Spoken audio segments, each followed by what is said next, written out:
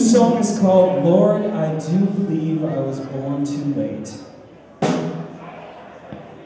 And it's a country song.